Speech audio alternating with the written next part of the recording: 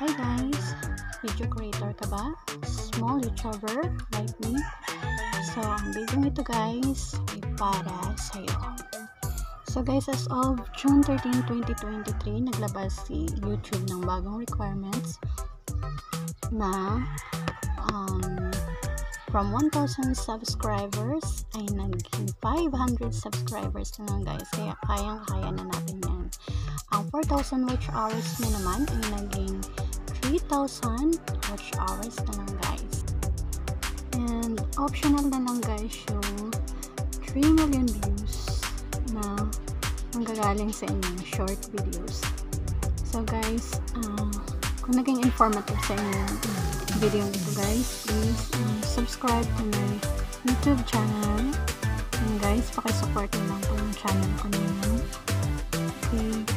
Thank you so much guys.